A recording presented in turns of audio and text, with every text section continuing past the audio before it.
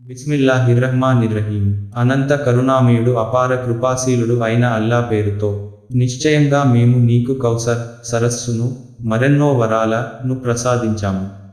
కాబట్టి నువ్వు నీ ప్రభువు కోసమే నమాజు చేయి కుర్బానీ ఇవ్వు. ముమ్మాటికి నీ శత్రువే నామరూపాల్లేకుండా పోయేవాడు.